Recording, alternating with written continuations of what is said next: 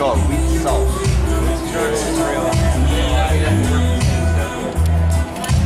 That's the thing now. Everybody's doing it. I do. I have about. I have moved.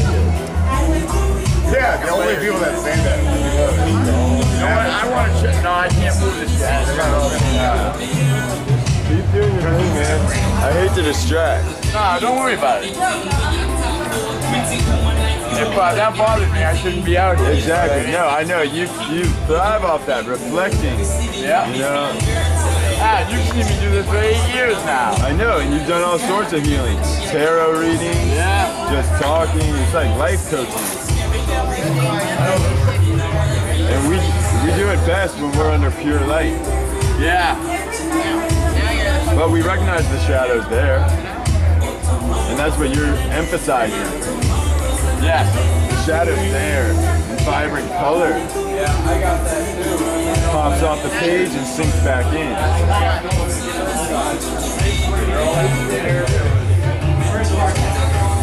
I've been dabbling in just writing, just free writing, you know? It's like one Painting count.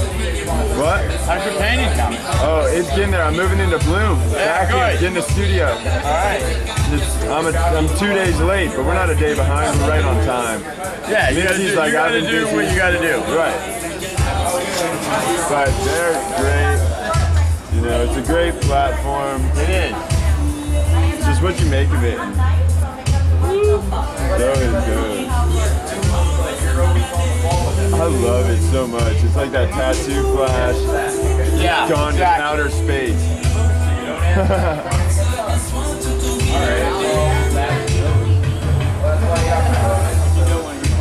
man, I've been vibing on the music. You know, applying what I've learned to visual art to music, to psychology, to anthropology, to biology, organic chemistry, sacred geometry.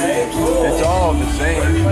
It's just different perspectives and different symbolism, you know? You're capturing all the curves that can be broken down in every way you want. You want to mm-hmm. look at it mathematically, it's all the 3.14 curve of pi, but then it's contrasted with straight linear planes, you know, it's multi